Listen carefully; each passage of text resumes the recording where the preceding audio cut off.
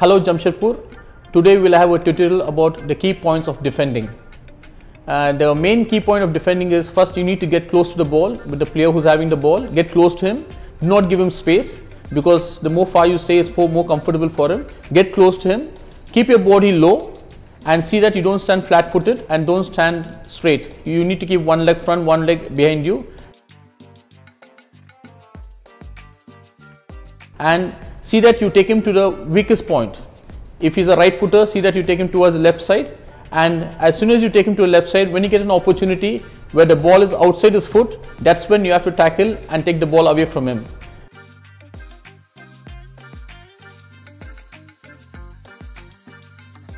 But see that you don't fall down, don't slide because once you slide, that means if he takes the ball, you, it's very hard for you to go behind him. So stay on your feet and always see that you tackle by being on your feet.